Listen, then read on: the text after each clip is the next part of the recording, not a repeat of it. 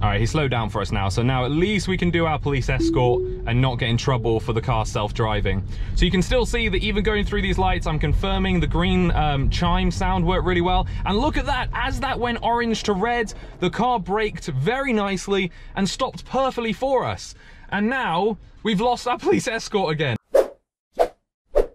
Welcome back everybody to Tesla Driver. I hope you're doing very well. Before we get into today's video, I just want to debunk a couple of myths. There was a news article going around that apparently I had been warned and spoken to by the police. That's completely false. They haven't spoken to me about anything. I'm not sure where that article came from. But yeah, I'm absolutely fine. The problem is with me at the moment, I have a medical condition. As you guys know, I have the shakes I have essential tremors and EPD. Uh, that's been stopping me making these videos and film recently. So I really apologize about that. Anyway, welcome to 2020.36.10 and we've got a brand new update. Now skip to this part of the film or the video now. If you want to skip all of this, I'm just going to read all this out to you and go over it. This is actually a huge, huge update and there's a lot to go through. So let's start off with this. Traffic light and stop sign control in beta.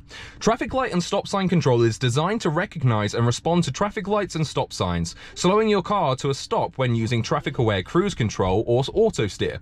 This feature will slow the car for all dedicated traffic lights, including green, blinking yellow, and off lights. As your car approaches an intersection, your car will indicate the intention to slow down via a notification, slow down, and stop to the red light shown on the driving visualization. So it will stop for every single light no matter what it is showing.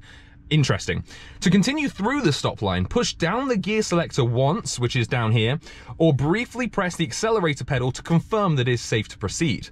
As with all autopilot features, you must continue to pay attention and be ready to take immediate action, including braking because this feature may not stop for all traffic controls. This feature will be conservative, slow down often at first, and will attempt to turn through intersections, and will not attempt to turn through intersections. Apologies for that. Over time, as we learn from the fleet, the feature will control more naturally naturally. To enable, shift your car into park, controls, autopilot, traffic light. Controls, autopilot. Traffic light, yes, here we go. We can turn this one on. And then again, we get the exact same thing here. So it's gonna stop for absolutely everything. Uh, and then we've got this green traffic light chime. A chime will play when the traffic light you are waiting for turns green. If you're waiting behind another car, the chime will play when the car advances, unless traffic aware cruise control or autopilot is active. Okay, well, we might as well turn that on. We'll give that a go as well today. Let's see what else is in this update. Uh, stop sign and stop light warning. It will warn you in some cases if it detects that you're about to run a stop sign or stop light while auto steer is in use. Okay, this is not a substitute for an alternative driver. No, we know that. Uh, green light traffic, uh, green traffic light chime is what we just did. And then the speed assist improvements came in the last update. And what's that, sweetheart? I think it's dead. What, the camera? No, the screen just turns off on GoPros after about 30 seconds. See, it's back on now. Right, can I just finish talking to the audience? Can I finish talking to the audience? No. Speed Assist now leverages your car's cameras to detect speed signs to improve the accuracy of speed limit data on local roads. And I've got to say, I have used this because this came in an update last week. Really quite good not the best, but really quite good. So as we come up here to our first roundabout, obviously nothing has changed for roundabouts. These here are um, basically zebra crossings, but as you saw, it didn't show anything for the zebra crossings there. That's something that's gonna be needed to be added uh, for a UK version. Now down this road, there is actually a very interesting, oh, here we go. Okay, there's no one behind me.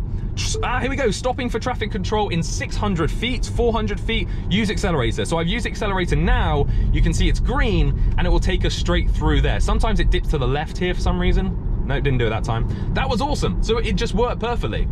What we've got here coming up is a brand new 20 gates. Oh, stopping for traffic light again. So this brand new 20 gate here is actually only due to the COVID restrictions. And we're gonna see, does it see it? Yes, it does see it. And again, it is slowing itself down for that. It may be slowing itself down for the traffic light as well. Yeah, you can see. So I'm gonna use the, oh, okay. So I actually shifted up that time and that's incorrect. I shouldn't, I shouldn't have shifted up there. I should have actually shifted down. So that's something that I need to get used to. And again, don't forget, it won't turn right at traffic lights or anything like that. This has changed. Look how, how beautiful the green glow is on the traffic lights now. That looks awesome. Previously, it didn't look quite as bright and as shiny as that. So I, I like the update that they've done there.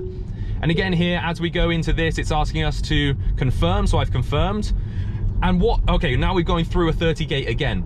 So what I missed there, there's so much going on to talk about, is that 20 was actually for that whole road, but because the car didn't see another 20 sign, and on the GPS it knows it's a 30, it went back to 30 even though it was in a 20. So that's just one one show there where sometimes it doesn't kind of remember and it, it just goes back to, to 30, which in some cases wouldn't be great. Stopping for traffic control again here and we actually do need to stop for traffic control this time. So we'll let the car do all of it and see how well it does. Okay, so now it's going to green. The, oh, hear that? The car chimed. I've put the accelerator on and now it has gone straight through that red, red, uh, green light. And again here, it's chimed, it's braking, but I need to brake anyway for this car in front. And then the car is continuing on forward. That This, this is working really, really well. Okay, we've got more traffic lights coming up here and we're gonna see if the car will stop. Yes, sweetheart. I went past somewhere where you were naughty. There we go. Autopilot unable to proceed. Now, I think this is because of the corner. It's unable to proceed, but I'm not 100% sure. Uh, yeah, it's, it's because it was on a corner, it wasn't able to proceed on its own. Coming up to some more red lights here, and again, it's saying that it's stopping for the traffic light control. This is working really well, guys, and this is showing nicely. It's showing a person there. It's showing that it's the pickup truck in front. Now, it's a red light quite far ahead.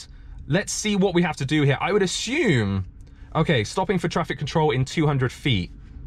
So now, do I have to tell it to go now? Or will it go now? Or do I need to tell it when it gets closer to the green light? I'm not sure. We're about to find out. Yeah, okay, so it is actually gonna stop for these lights, so I do need to just confirm it myself. Interesting, so it's not gonna flow, it's not gonna flow with the traffic uh, just yet. It still does need you to confirm for everything. Okay, so we're going on to a slight laned roundabout here which also has lights on it. And again, I'm presuming the car's not going to be too happy with it because of the corner. Uh, let's see what it says here. It says stopping for traffic lights. I would like these traffic... Aha, here we go. Perfect. There you go. You can see that they've gone amber or yellow. And the car here coming up behind this truck nicely. So this gap for me, for example, is way too big. You can see that there's a car almost could fit in that gap. There's a red light. That's right, sweetheart. So I'm going to put that to one. And sadly, as we go to one, the car hasn't actually got any closer. Uh, maybe next time it will. Stop at the red light. Okay, sweetheart. Okay, we're back onto a 20 road here, and the car is stopping for these green lights. But it, obviously it does Oh, oh, interesting. It was actually stopping twice there. So it was stopping for the first load of lights, and then it decided to almost stop for the second load of lights, which would have been a little bit dangerous if I'm being honest. Again here, stopping for these green lights, so I'm gonna push the accelerator to go on through it nice and early. But here, look at this. There is an absolute cluster of lights. Is it going to go through the second set of lights which aren't even on, or is it going to slam on here? I'm a little bit nervous. Absolutely nothing. Went through them perfectly. That was brilliant. That was really, really good.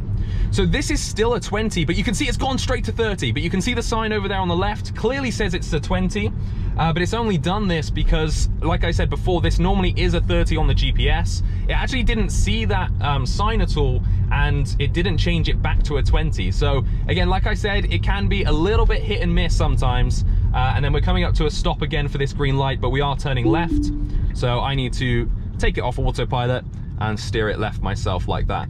So again here, this road is a 30 uh, normally, but it is a 20 right now. The car still thinks it's a 30. The lines are atrocious because the Hereford Council did an awful job uh, trying to fix this road recently. So you can see there it picked up that 20 sign and now it's following the 20. And again, stopping for this green light, but we'll just continue on through it and that worked quite nicely. This is, yeah, it's pretty good. It's pretty good so far. I'm pretty happy with it. Next up, we're going to try and find a stop sign. I believe there's one stop sign here in Hereford, which is just on the left. So I'm going to go give it a whirl here. Uh, there's no one behind us. And again, we're going to come up to these traffic lights. You can see it's picking up all these bollards. It's picking up loads of cars. As we come up again to these lights, it's going to chime. So obviously it's gone green, so it's chimed for us, but it is just coming to a stop anyway. But I have to take it off here because of autopilot's restrictions with turning. Okay, yes, there is. There is a stop sign at the end of this road. This is a 20 as per that sign. Okay, let's see. Yes, yeah, stopping for traffic control. Wow, can it really see that stop sign that far away? Or does it know that there's a stop sign there? I wonder. All right, let's see it stop then for this stop sign because we do obviously, uh, we do need to do need to stop and I'll let this lady pass anyway. Uh, so there you go. It stopped nicely, very far away from the stop sign.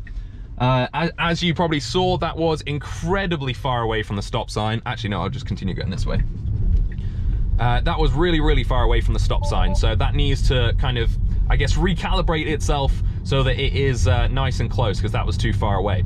There doesn't say that there was any improvements to things like steering around corners and that kind of stuff in this update. However, someone on Twitter did message me and say, my car is now steering around corners way nicer than before and ones that it previously couldn't even do itself. So, it's okay, that, that BMW slightly coming over, but it was, yeah, there's a football pitch, I know.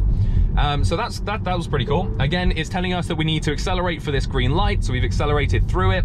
And we're gonna take the car left here because there's a very tight corner that I did actually last night and it wasn't able to do. So I'm really excited to see is it gonna do this corner? It is an incredibly tight corner and I'm gonna be doing it at 20 miles an hour. What is the car gonna do here? It had a little bit of a fit and aborted yesterday. Now it will, it will it, it will. It will. It's done it. I mean, it was a little bit hit and miss. It, like it was a little bit jumpy, but it did the corner nicely. You're also noticing, hopefully, that it's picking up a lot of people, loads of people. Does it pick up this stop sign on the floor? No, didn't pick up the bus stop on the floor there. All right, let's see how it does this corner as well, because this corner can be pretty tight, especially if cars are on our side of the road. Yes, it's, oh, yeah, it's been able to do that corner. Honestly, it's never done that corner before um, without me having to, to take take some sort of control to it. It's okay, car. I know, I know. Whoa, whoa, calm down, calm down. I don't know what, what the car was having a fit about there, but it was not happy that I was going around these cars. This is something that obviously the Tesla is gonna have to learn to do because, especially in the UK, we have so many people here parked on the side of the roads. So one thing I did have a think about with these um, speed signs was I was actually following a car that had a huge sticker on the back of it saying this car is restricted to 68 miles per hour. And I wondered, will my car see that sign and change itself to 68 miles per hour? Um, so that's something that I want to test. If you want to see those kind of tests, let me know uh, and I will give them a whirl sooner rather than later. Uh, let's go straight across here because I think those kind of things could be a pretty cool tests to see. And we could just kind of trick the car and see on private roads what speed the car says it will happily go to uh, on its own. But things like this, obviously the car's got to learn to kind of give way uh, and then go at the the right time. I would hope that the car wouldn't try and squeeze through these areas either, uh, but that's something that obviously we're going to find out in future stages.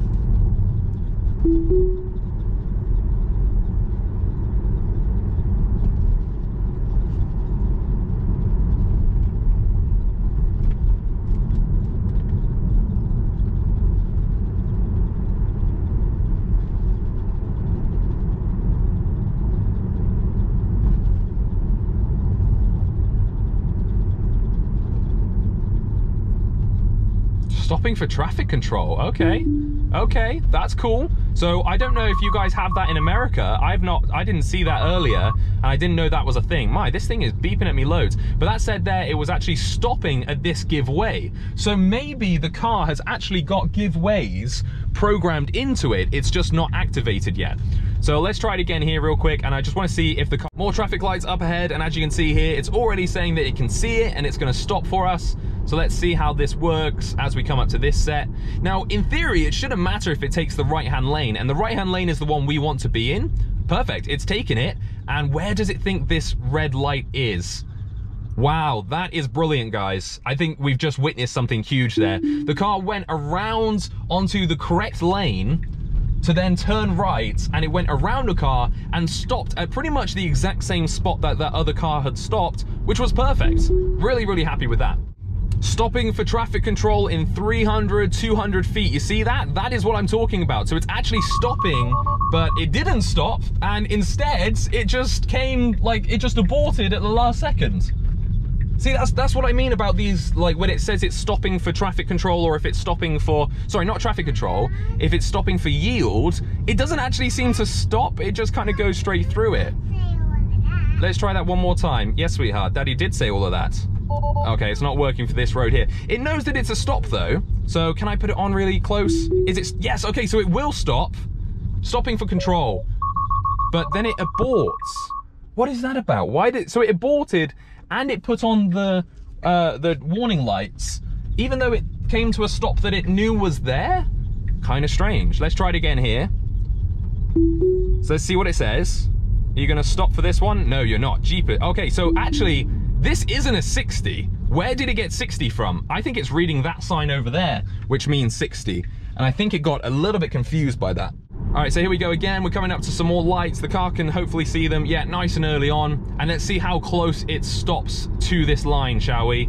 Oh my gosh right over it. It was actually going straight over the line because it wanted to stop where the traffic lights were themselves. And if you saw that on here, you could see it. It thinks it should stop further on, where really it needs to stop further back. The car still can't go over the bridge, by the way. i just, I don't even try it anymore. I just know that it won't work. Whoa, dude. Okay. On your phone. He was on his phone on my side of the road. Go back and look at that footage. He was on his phone swerving onto our side of the road. That's awful, that is. Um, okay. As you can see, uh, it's read the speed signs, but it's not going up to 40. That's not necessarily a big problem. And we're going to come up to another roundabout here, and I just want to see what it does again at this roundabout. Is it going to stop? Is it going to say anything? Or is it just going to go straight on over it? waiting for something. It knows where the end of roads are. It knows where roundabouts are, but no, we're getting... Oh, it is slowing down. It is slowing down for the roundabout. Okay. So it's slowing all the way down to 15 miles an hour before you get to a roundabout. That's pretty cool. I don't know if that was fluke, because I've not that had that happen to me before, but that actually worked relatively well. Yeah, I was quite, quite happy with how that worked. So there we are, everyone. There is a real quick overview of this brand new update. I know it's not massively in detail or anything like that, and I haven't been able to find lots of specific use cases. The reason for that is my daughter is in the car, and I promised her we're gonna take her to this pirate ship, and uh, you're probably gonna hear in a second her shout about this pirate ship. Here we go, look, this is a 10 mile an hour speed limit. What's it showing? Yes, it is showing 10 miles an hour, and as we go through it, it is following that sign. That is pretty good. That is really good, actually. Okay, we need to come down here. Pirate ship? Where is the pirate ship? I know, how exciting. I'm so excited. You're so excited. You just can't hide it. Slide on a pirate ship. Yeah, we're gonna slide down that pirate ship. Daddy's gonna be a pirate in a minute. You can see there, it's picking up the guy over over ahead of us. That's pretty cool. Yeah, not too bad. So there we are, everybody. 2020.36.10. Finally, the UK is being brought up to, I didn't see that cone that it thought was there. Uh, the UK is finally being brought up to the standards that the US, Canadians, etc., etc., all have. And I absolutely love it. If you like this video, hit the like button down below. Don't forget to subscribe, turn on the notification bell. Loads more videos to come soon. I need to get that sorted. Until next time, thank you for watching and don't forget, drive safe. You ready? Are you so excited? Come on